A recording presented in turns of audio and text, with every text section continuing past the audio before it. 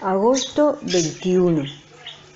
Encontrar bendición en la muerte, pero confiamos y más quisiéramos estar ausentes del cuerpo y presentes al Señor. 2 Corintios 5, 8. Lectura adicional recomendada Apocalipsis 21, 1 a 9. Pablo repite aquí lo que ha estado diciendo acerca de la confianza de los piadosos. Es improbable que se quiebren bajo la severidad de la cruz o que les descorazonen las aflicciones. En lugar de tal cosa, demuestran mayor valentía, porque la muerte es el peor de los males pero los creyentes la anhelan como el comienzo de una bienaventuranza perfecta. El término y en este versículo podría considerarse equivalente a porque, lo que arrojaría la siguiente lectura. Nada puede acontecernos que sacuda nuestra confianza y nuestra valentía, puesto que la muerte, a la que tantos temen, es ganancia para nosotros. Filipenses 1:21. Porque nada hay mejor que abandonar el cuerpo, puesto que así podemos alcanzar una comunión cercana con Dios y disfrutar de su presencia abierta y manifiestamente.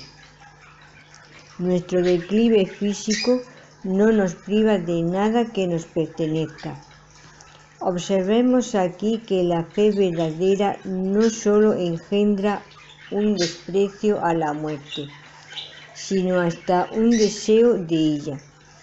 Por otro lado, cuando el temor a la muerte predomina sobre el gozo y el consuelo de la esperanza, nos encontramos ante una muestra de incredulidad.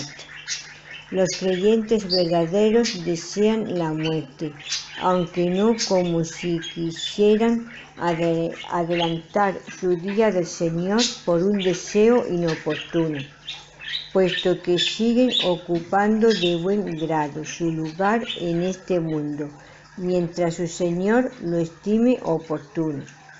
Antes prefieren vivir para la gloria de Cristo y morir para sí, Romanos 14, 7, que vivir para beneficio propio. El deseo de muerte que menciona Pablo nace de la fe y no contraviene la voluntad de Dios. Estas palabras también nos permiten deducir que las almas, al ser liberadas del cuerpo, viven en presencia de Dios dado que están ausentes del cuerpo y están presentes al Señor. Es indudable que viven con Él. Meditación. La Biblia no habla mucho del estado intermedio del ser humano. Esto es nuestro estado entre la muerte y el momento en que Cristo resucite nuestro cuerpo en su segunda venida. Sin embargo, Pablo sí que nos confirma que nuestras almas estarán presentes ante el Señor. Esto significa más para los creyentes que ninguna otra cosa.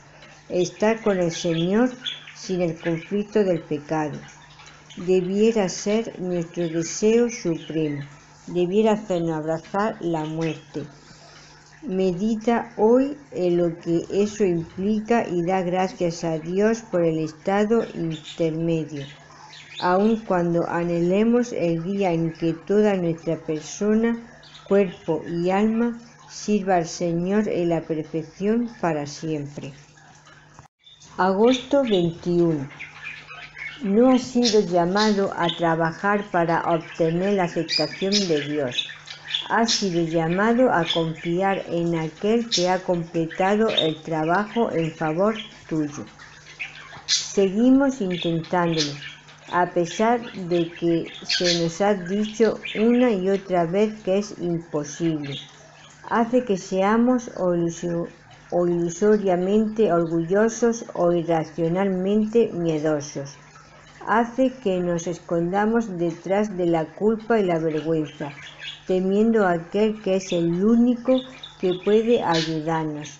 En temor trabajamos por aquellos que ya nos ha sido otorgado. Con una debilitante esperanza buscamos aquello que ya tenemos.